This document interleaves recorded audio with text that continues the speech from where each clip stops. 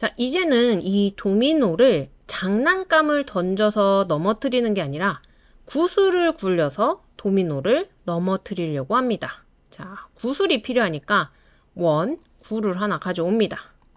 자, 그래서 얘를 공중에 띄워서 사가에 가서 한번 플레이를 해보면 자, 공이 아래로는 떨어지지만 이 도미노를 향해서 가지 않아요. 어떻게 하면 되죠?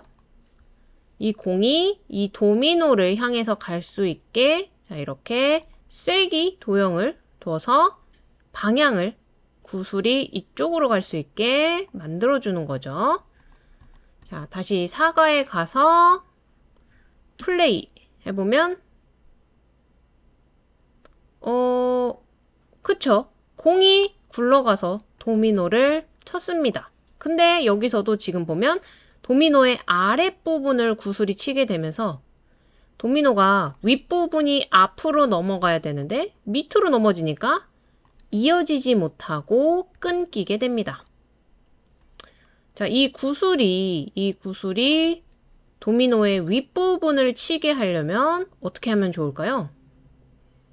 음, 자, 다시 3D 디자인으로 가서요. 자, 구슬을 크기를 키워주도록 하겠습니다.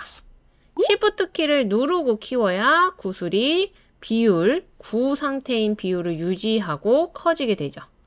키웠습니다. 다시 사과에 가서 자, 플레이 해보면 네, 이번에는 구슬이 앞으로 치면서 자, 잘 도미노는 잘 넘어졌어요. 도미노는 잘 넘어졌는데 어라? 지금 뭐가 사라졌죠?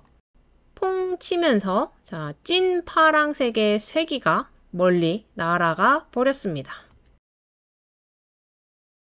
이 구슬이 지금 커서 되게 무거워졌거든요. 힘을 받기 위해서는 얘가 날아가지 않고 고정되어 있어야 됩니다.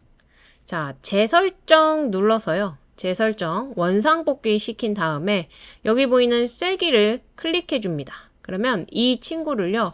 여기 보이는 정적으로 만들기라고 표현되어 있는데요. 돌로 만드는 겁니다. 정지되게 못 움직이는 거죠. 안 움직이는 거죠. 자, 이 상태를 만든 다음에 다시 플레이를 해보면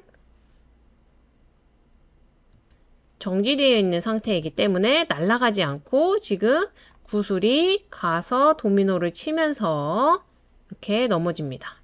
지금 구슬이 지금 굉장히 커서 거의 도미노를 다 쓸어버리고 넘어지네요. 자, 이렇게 이제 더 이상 장난감을 던지지 않겠습니다. 자, 여러분이 이 구슬, 떨어지는 구슬을 이용해서 떨어지고, 그 다음에 이 구슬이 굴러가서 도미노를 넘어뜨리는 동작을 이어지게 한번 만들어 보세요.